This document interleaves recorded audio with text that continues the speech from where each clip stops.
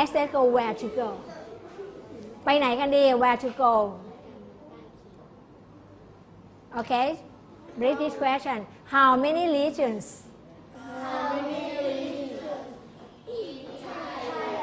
เขาถามว่าเออมีภาคมากเท่าไหร่ในในไทยแลนด์นะถ้าทำถามอย่างสมบูรณ์เลย how many regions are there in Thailand นะคะคำตอบคือ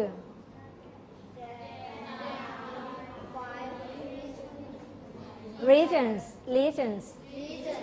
there are four regions in Thailand ครูแบ่งตามโซนท่องเที่ยวนะคะได้ 5 ภาคนะคะมี 5 ภาคนะอันนี้ถ้าเป็นคำถามสมบูรณ์นะ คือ how many regions are there in Thailand นะคะ อันนี้เป็นคำถามแบบพูดไม่ได้สมบูรณ์ โอเค regions of Thailand ภาคต่างๆ ของประเทศไทยอืม ไปพร้อมกันหรือยังคะ มีใครยังไม่พร้อมยังติดธุระเรื่องอื่น ๆ อยู่มีไหม ไม่มีนะคะ ไม่มีนี้โฟกัสมาตรงนี้เลย regions of Thailand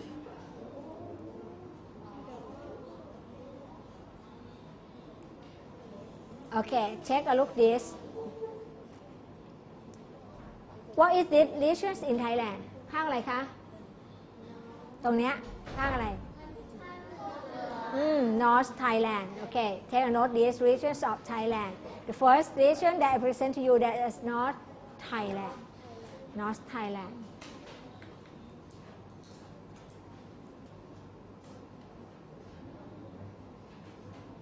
ฉะนั้นวงเล็บคำแปลลงไปเองนะคะ เรียบร้อยอยังคะชุดาทิพย์เรียบร้อยอย่าง next one South Thailand South Thailand ภาคอะไรคะ South Thailand อ่า North South next East Thailand East Thailand ภาค East Thailand ภาคอะไรคะ ภาคตะวันออกนั่นเองมีบางคนตอบมาภาคกลางมันกลางตรงไหนคะเนี่ย กลางมหาสมุทรเลยคะเนี่ย and next one Central Thailand Central Thailand คืออะไรคะ Central ชื่อบอกแล้ว Central Center Central this one North East Thailand North East Thailand what what ฮะภาคตะ วันออกเฉียงเหนือ or the another name อีสาน ไม่ใช่ภาคภาคอีสานนะมันเป็นชื่อหนึ่งของ North East Thailand แต่ชื่อทางการก็คือภาคตะวันออกเฉียงเหนือเนี่ย East เห็นไหมคะ North East ตะวันออกเฉียงเหนือ North อยู่ข้างหน้าเนี่ย North East นะ North มารวมกับ East กลายเป็นตะวันออกเฉียงเหนือ and มีอีกไหม ไม่มี เพราะว่าบอกแล้วว่า นะคะแบ่งตามพื้นที่ท่องเที่ยวก็ไม่ห้าภาคของประเทศไทย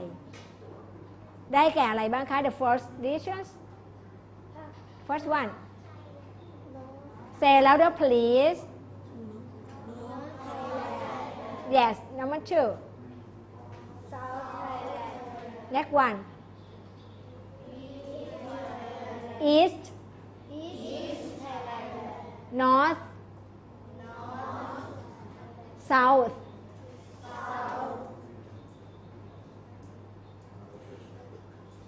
east okay say again the number one next one next east next next north east Thailand ถ้าเรียนออกว่า eat Thailand eat แปลว่ากินนะ not eat Thailand ประเทศไทยกินอะไรไม่รู้นะคะดังนั้นลงท้ายเสียงที่ถูกต้อง east Thailand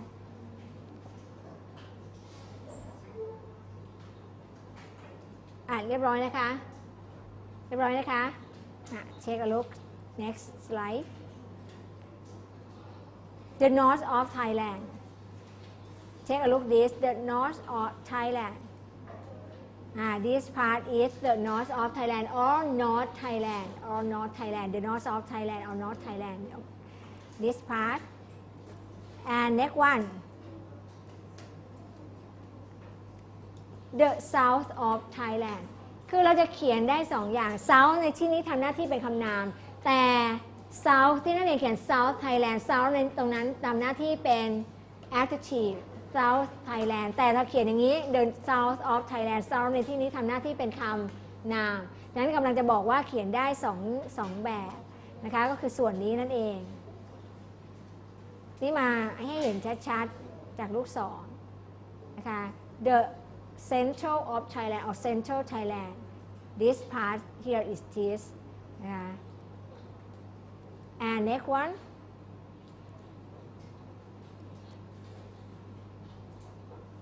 the northeast of Thailand the northeast of Thailand here is this นะคะคือพาร์ทคือส่วนนี้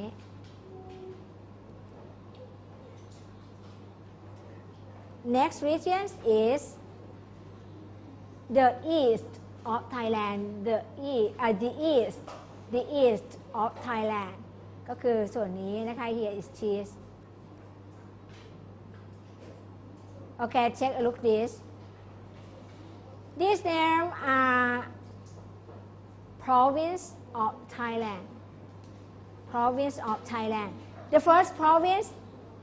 is in the north of Thailand. Which province is this?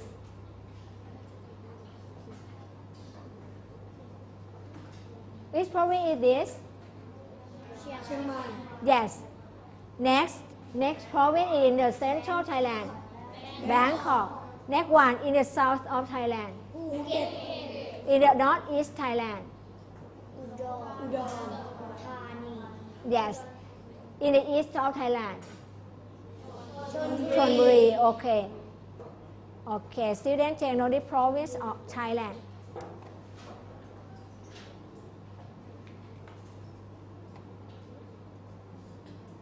นะอันนี้จริงๆครูจะโฟกัสไปที่คำว่า province ที่แปลว่าจังหวัดนักเรียนเขียนแค่คำว่า province ก็พอ นะ province ไม่ต้องขึ้นต้นด้วยตัวพิมพ์ใหญ่นะโจทย์คำสั่งนี้ P R O V I N C E province ก็คือแปลว่า แปลว่าอะไรคะ จังหวัด เพราะชื่อเหล่านี้คือจังหวัดนะคะ ฉะนั้น บันทึกคำศัพท์ province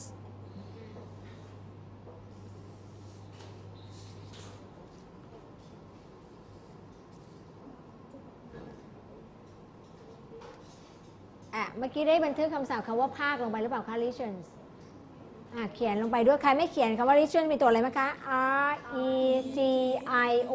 N นะคะ เขียนไปด้วยภาคนะคะฉะนั้นคำศัพท์ที่เราเรียนมาตั้งแต่ต้นชั่วโมงเนี่ยสองคำที่อยากให้รู้คือคำว่า regions กับคำว่า province นะอย่างอื่นก็ไม่ต้องบันทึกก็ได้นะคะ เป็นเรื่องที่ว่าเราน่าจะรู้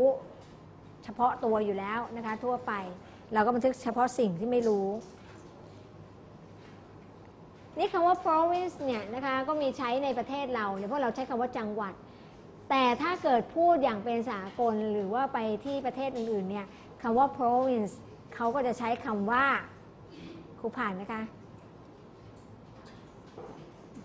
โอเค read it again อืมนี่คือจังหวัดต่างๆ นั่นเอง ก็เขาจะใช้คำว่า city city C I T Y นะ city อันนี้เปลี่ยน y เป็น i แล้วเติม es เพราะว่าเมืองหลายเมือง ฉะนั้นถ้าเกิดเราพูดอย่างเป็นสากลเนี่ย เราไม่ใช้คำว่า province